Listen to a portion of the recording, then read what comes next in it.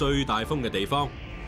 不過就絕對唔會悶啦，淨係冰已經多到嚇親人啦，有成三千萬立方公里。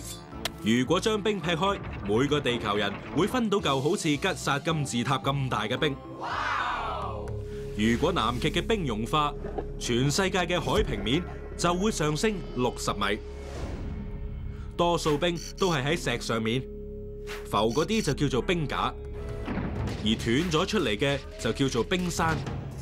一座冰山有九成都係浸喺水入面嘅。世界最大嘅冰山多數都喺南極。當中包括 B 十五 A，足足有盧森堡咁大，二千年喺羅斯冰架度斷出嚟。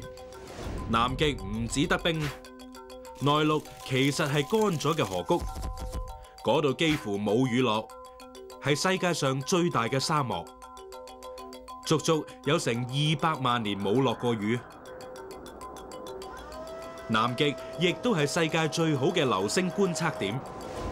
喺白色嘅冰天雪地度，乜嘢都冇，黑色嘅流星會好顯眼。南極除咗冰同荒芜，仲係藍鯨嘅家。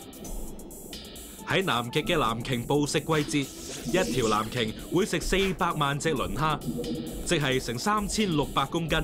半年內日日如是，佢食一日就夠一個人食足四年。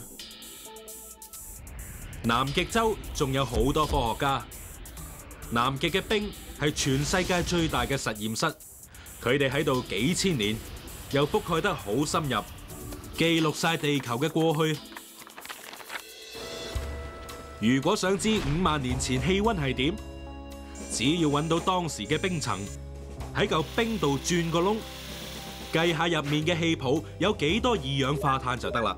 好多近期嘅冰柱都證實咗地球急速變暖，而結果呢就係冰架相繼斷裂。